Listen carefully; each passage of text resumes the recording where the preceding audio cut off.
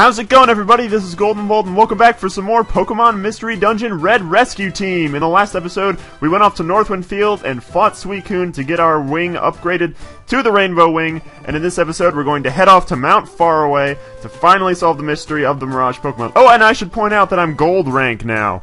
Uh, that happened uh, during the big cut uh, between in uh, the last episode. In the middle of it, I uh, decided to do some side rescue missions, and I uh, am gold rank or gold rank. Also, I'm at money three because I just bought like a ton of items.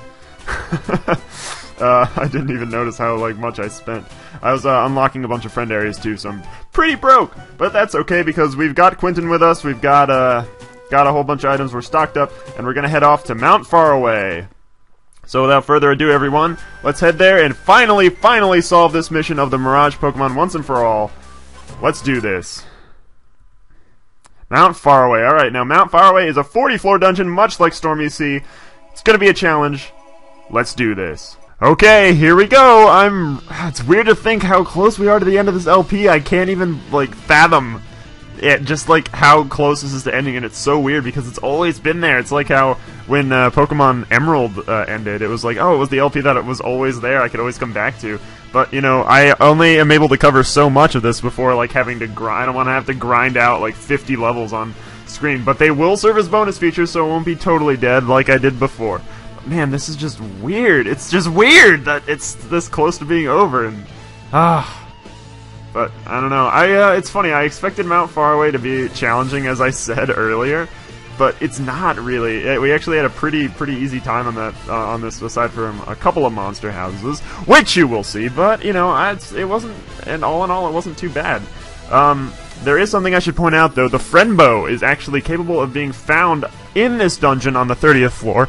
Uh, it's behind a locked door. I'm not getting it in this episode because I'm going to have a roundup episode where I will uh, come back to this dungeon is one of the ones I'll come back to as well Stormy Sea.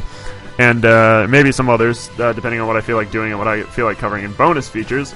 But, um, I don't want those roundups to be completely bland because if I just do a roundup of legendary episode, that's not going to be very long because I'm not going to show the whole dungeon again. I will basically just show uh, up to where we are right now.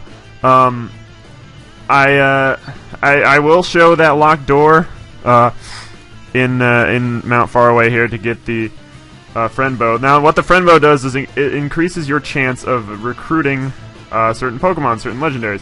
So having it will be just absolutely perfect. So I will probably come back to get this to get the friend bow and then press my luck with some of the harder to recruit legendaries. Uh, so I don't have to include everything in bonus features because I want to cover as much as possible, minus my whole uh, you need to be level 90 to at least even have a, a somewhat chance. Also, Lucario rank helps to uh, get your uh, recruitment up. Uh, we're not Lucario rank yet. Our team is only gold rank, but um, gold rank's still pretty dang good.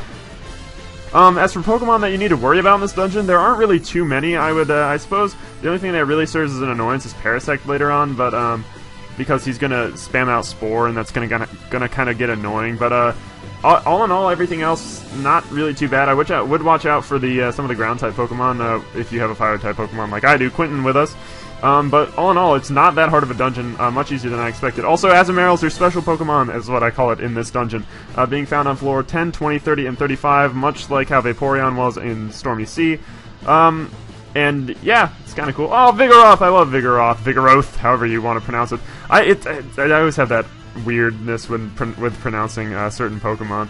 And oh, look, golems! How nice! Let's beat us up some golems. And that's an evil trap! Who puts a trap right there? It's like, oh, you're gonna turn left to go to the stairs? Trap!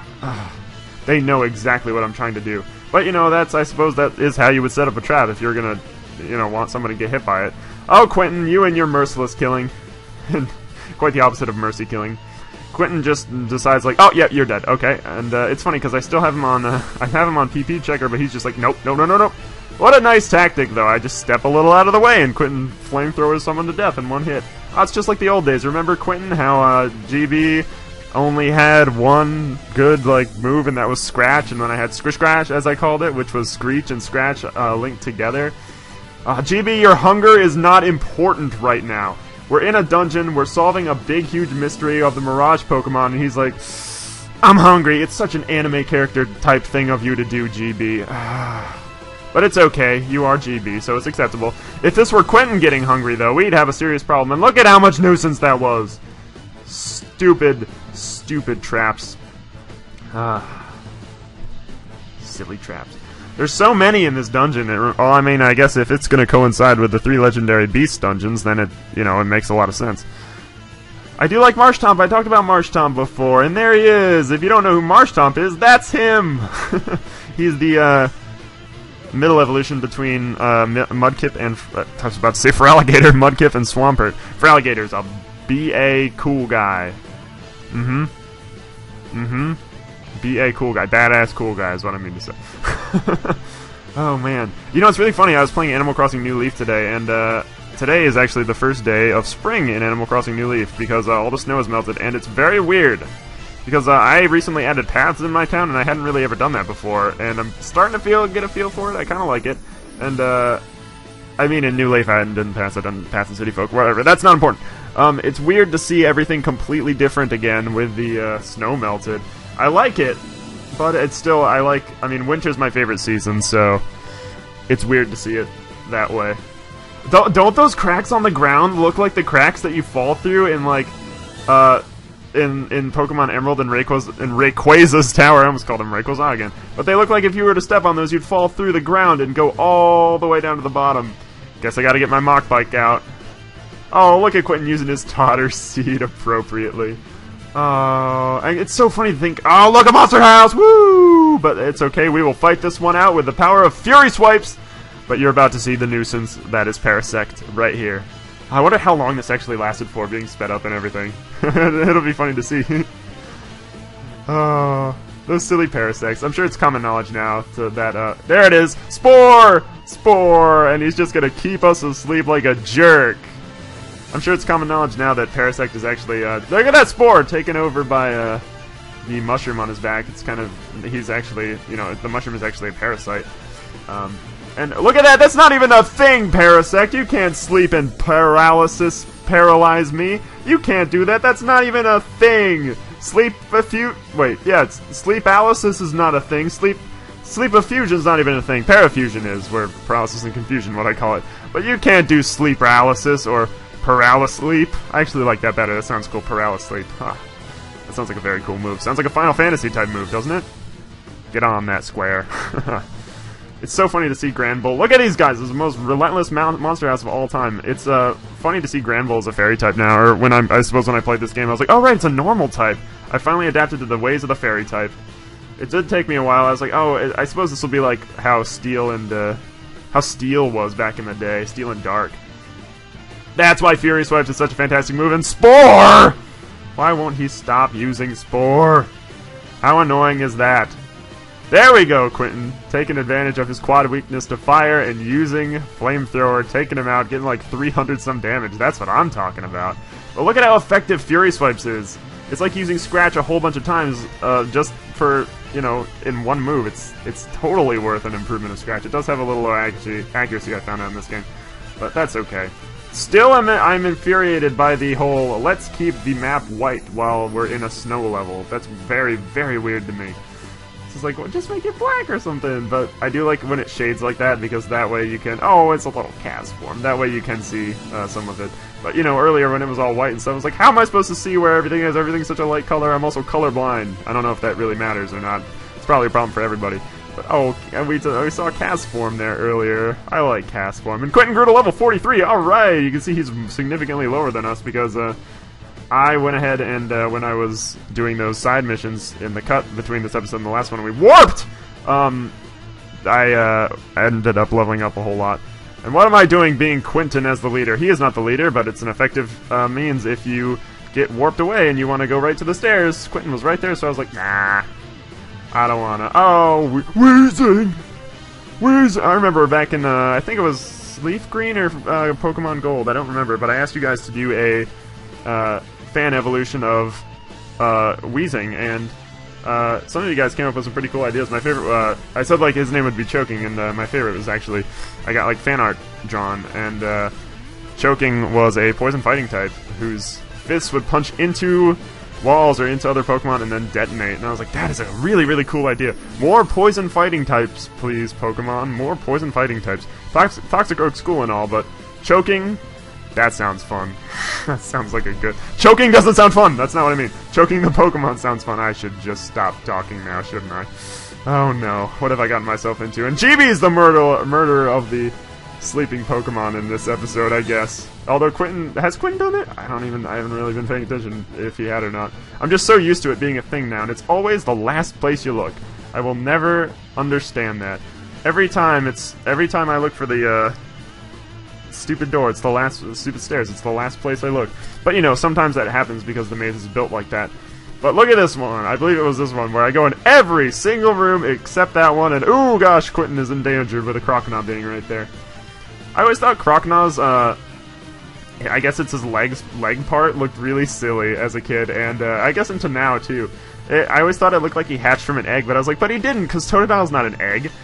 I I don't know. I always see that as like part of an egg, or like maybe it's like a maybe it's like a sort of Tarzan a piece of cloth strewn over him. I guess I don't know what it's supposed to be, but that's kind of what it looks like. I'm not exactly sure. I don't know. Looks something like that. Who knows? And there we go, Mount Faraway, 38th floor, and right there, look at these stairs just going, coming up right for us. We had no problem with that. We took on Silver Trench. We have no worries. This was this was a piece of cake, wasn't it?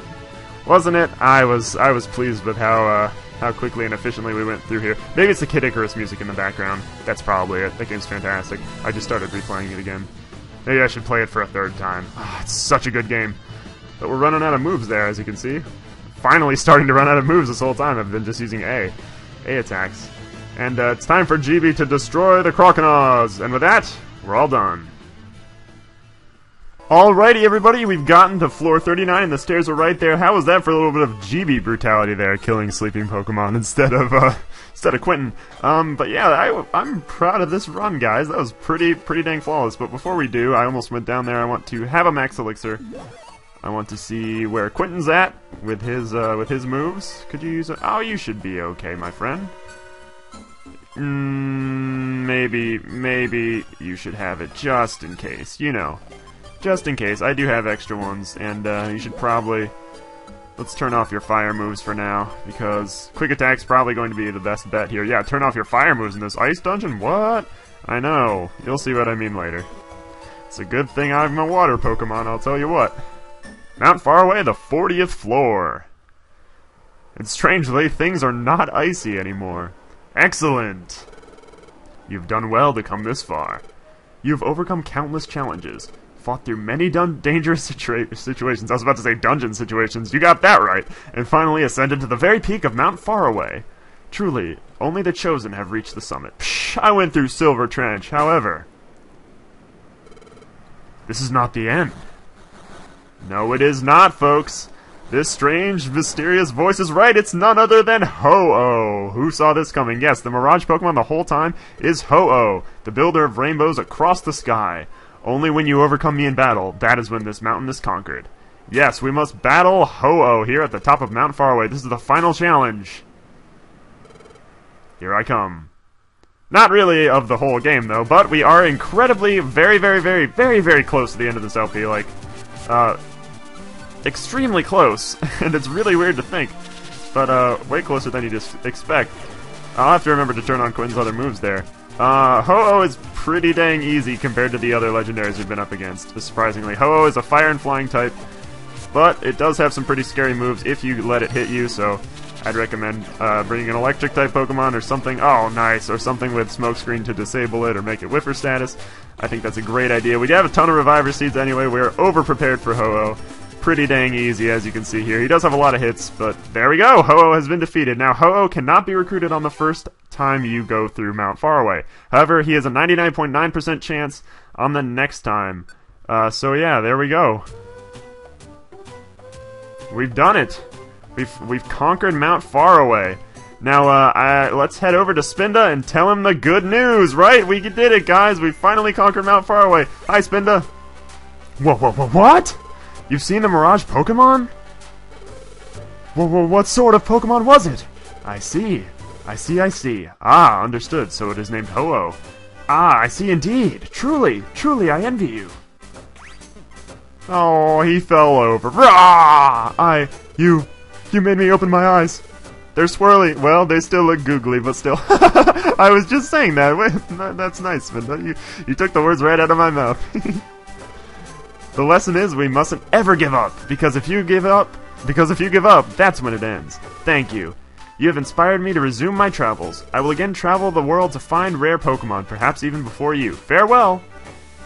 And with that, Spinda toddles on off. However slowly he might take. Oh, and there he goes, off the screen, but he's he ran so fast when we got to the end there. Yeah, guys, we're reaching the very, very end of this LP. Like, there's not much I'm able to cover uh, currently at my level now, so I'm to cover what we're able to cover. Um, and uh, let's let's just uh, humor myself with the bulletin board real quick. Uproar Forest. I don't know why I sang that song. Uh, yeah, nothing, no friend area yet. Um, but I will do that. I'm not going to do this through Wonder Mail because I'm convinced that I want to do it myself. But once I uh, once I do find it, though, I will release the Wonder Mail if you're interested in getting it. But uh, I'll get into that later. So we don't have very much to go left, guys. There's really not much left. Uh, however, it's not the end of the LP. I've uh, yet to decide what we're going to do next time, so I'll leave it up as a little bit of a surprise. But I have uh, two or three ideas that will uh, that we'll head into. So, guys, I hope you enjoyed this installment of our adventure and our trek up to Mount Faraway and our defeating of Ho-Oh. I had a lot of fun. Uh, yeah, guys, from me to you, have a very nice day, and I'll see you guys next time.